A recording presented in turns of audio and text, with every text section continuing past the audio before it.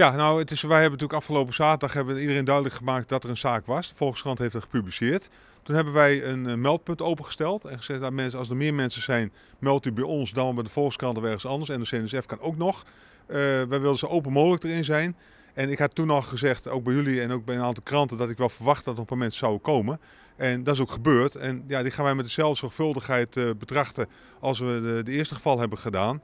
Uh, ja, mocht het uh, nog heel veel mensen komen, ja, dan gaan we ook expertise inschakelen. Want dan gaat het ons ook boven onze pet uit, om het zo te zeggen.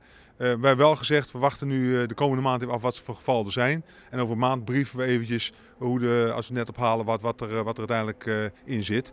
Dus, maar we gaan alles zorgvuldig aanpakken. Ik had wel verwacht en volgens mij dezelfde zorgvuldige procedure blijven volgen.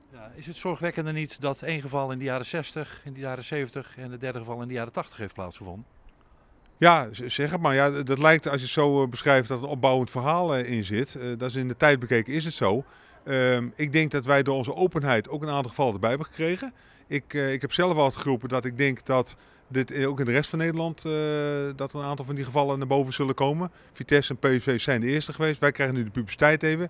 Ja, dat is vervelend, want ik had het ook liever niet gehad. Maar ja, transparantie gaat in dit geval ook uh, en zorgvuldigheid boven alles. Dus uh, ja, mensen melden, melden zich, wij zullen het opvang regelen. En ik verwacht nog wel meer gevallen in Nederland.